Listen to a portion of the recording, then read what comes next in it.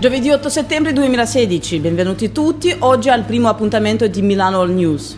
Io sono Bella Shah e vediamo cosa succede oggi in città. Lo sciopero dei mezzi pubblici previsto lunedì 12 settembre è stato revocato.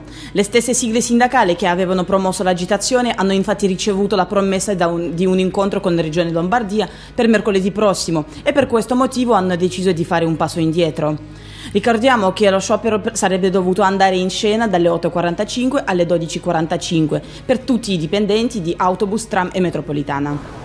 Rimaniamo sempre in tema di trasporti. La metro M3 sarà collegata alla nuova linea M4 da un passaggio pedonale.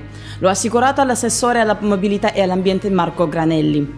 Al momento sono in corso i primi progetti e la valutazione delle risorse, ma è oramai certo che il collegamento verrà realizzato.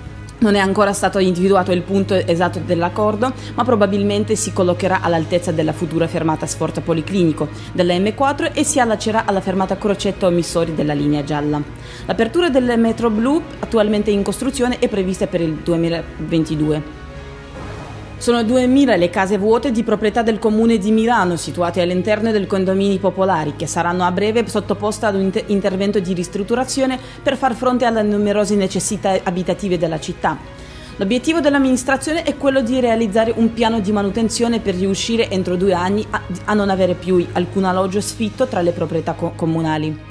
A margine di una conferenza tenutasi al Palazzo Marino, Davide Corritore, presidente della MM, la società del comune che si occupa delle mm, gestioni e manutenzione delle case popolari, ha spiegato che per la sistemazione di ciascun alloggio saranno necessari circa 16.000 euro. Il Salone del Libro di Milano è stato anticipato di un mese e si svolgerà dal 19 al 23 aprile 2017, nella settimana che culmina nella giornata mondiale del libro e del diritto d'autore. La kermessa avrà luogo poco dopo la settimana dedicata al design e con circa un mese di anticipo rispetto allo storico Salone torinese, già confermato per il periodo dal 18 al 22 maggio. Lo hanno deciso oggi di comune d'accordo AIE e Fiera Milano. Una decisione che ha suscitato immediatamente le critiche dalla sindaca di Torino Chiara Appendino e del presidente della regione Piemonte Sergio Chiamparino, che hanno definito questo comportamento irrispettoso e provocatorio nei confronti del ministro Franceschini e degli altri interlocutori. Grazie per averci seguito, ci vediamo all'ora di pranzo con una nuova puntata di Milano News. Arrivederci.